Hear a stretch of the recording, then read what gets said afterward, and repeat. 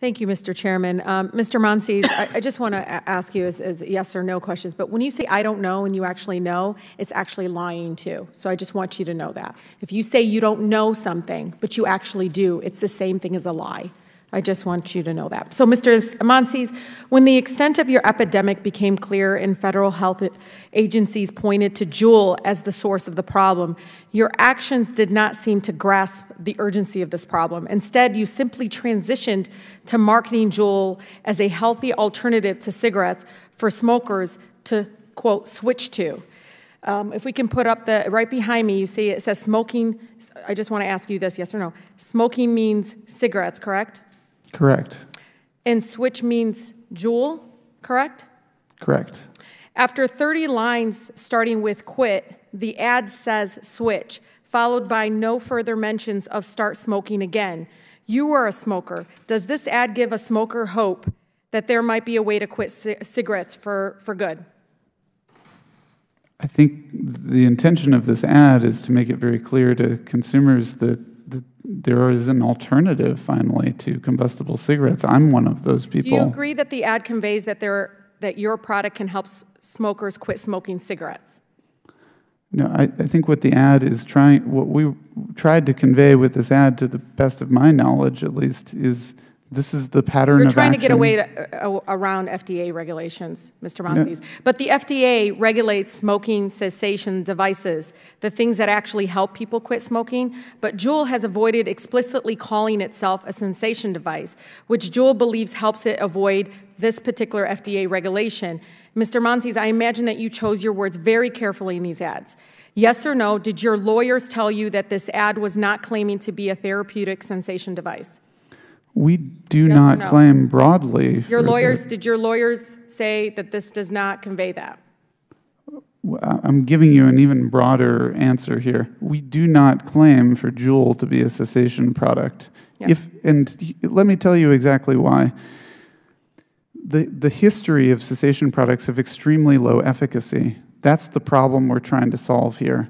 So if we can give consumers an alternative and market it sure. right next to other cigarettes, then we can actually make something yeah. work. Targeted children to do that too. Did your lawyers tell the tell you that the words switch and switching were not therapeutic cessation claims? I, I'm not. I, I don't recall exactly uh -huh. what our lawyers. Are you allowed to say that your products are healthier than cigarettes? I believe in these chambers we are allowed to do You're so. You're allowed to say it here. Got it. Mm -hmm. You must feel really constrained right now. Ma'am. If you say that your products help people quit smoke, quit cigarettes, the FDA would regulate you. And if you say your products are safer, the FDA would regulate you.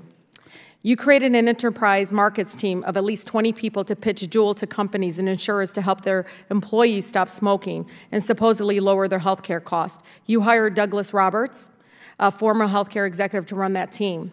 Why would employers or insurers partner with Juul unless you are conveying that Juul is effective for smoking cessation or safer than cigarettes? I, I think the real opportunity here is to improve the lives of a billion people worldwide and work together. But why would Juul sure tell employers and insurers about supposed health benefits of Juul? Look, I, I, just explained that. There's an opportunity here for public health. Why would insurance companies not want to explore all options option. to save people's lives? But you're not telling. So if you made the direct statement to the U.S. government that your products were smoking cessation devices or, what you've been telling these other folks, healthier than cigarettes, you would expect to be regulated that day, wouldn't you? I, I, I, can't state more emphatically, Juul is specifically and on purpose not a cessation product. On June 14, Juul sent a letter to the U.S. Trade Representative about Trump's tariffs on lithium batteries, which are used in your products. You state, quote, imposing a 25% duty on Juul's portable charging case will indirectly increase the cost of health care. Leveling an additional duty would cause undue harm to American consumers who are hoping to improve their lives by reducing or eliminating the use of tobacco products. Making Juul's product cost prohibitive may in turn lead them to revert to the use of tobacco products, which may increase the cost of healthcare, healthcare to consumers as well as US, US health insurers. How are those not direct claims that your product is a smoking cessation device and healthier than cigarettes? Mr. Monsees. Sorry, I, I've never seen that document before. Of course not.